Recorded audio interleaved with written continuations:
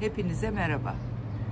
Kilo verme sürecinde veya koruma sürecinde aslında beslenirken de yapmamız gereken bazı şeyler var. Bunlar ipuçları.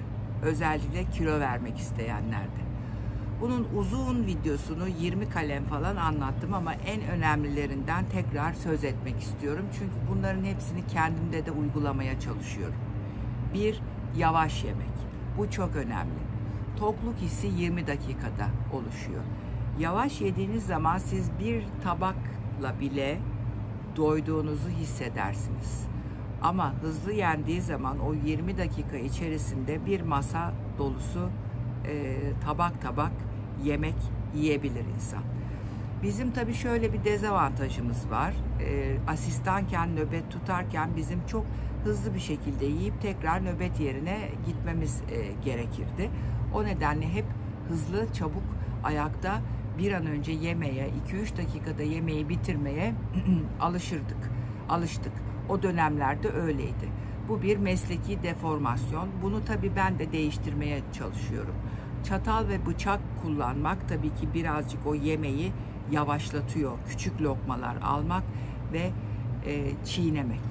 Her lokmayı 20 defa çiğnemek tabii bu hani ideali ama o da çiğne çiğne bir türlü bitmiyor. En azından 10 kere bile e, çiğnense e, o bile bir kardır. Çünkü e, çiğnemeden yutma şeklinde alışkanlık çok fazla.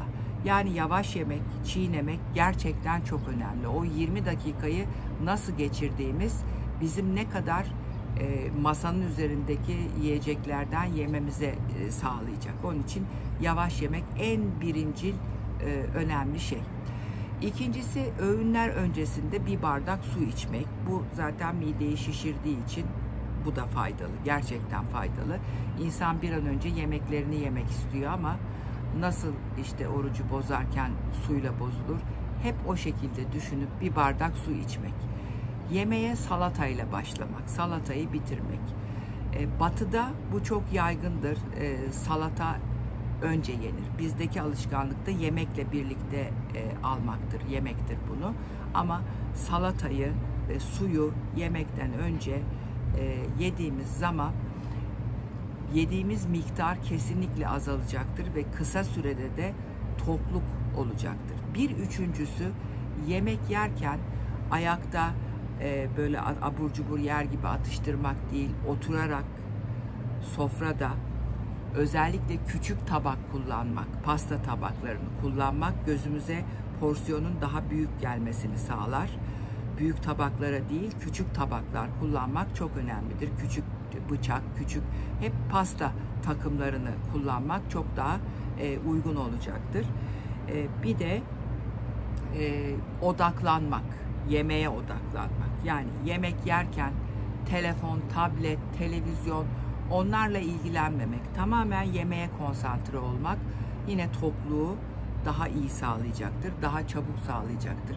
Sadece bunları bile yapmaya çalışmamız inanın kilo verme sürecinde veya kilo tutma sürecinde çok çok önemli unsurlar. Bir de atıştırmalar.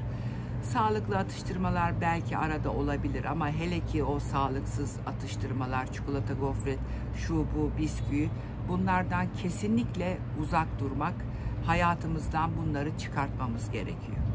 Bu videoda size kilo vermede önemli, basit, uygulandığı zaman çok etkili olan ipuçlarından söz ettim. Videoyu izlediğiniz için teşekkür ederim. Kanalıma abone olursanız sevinirim.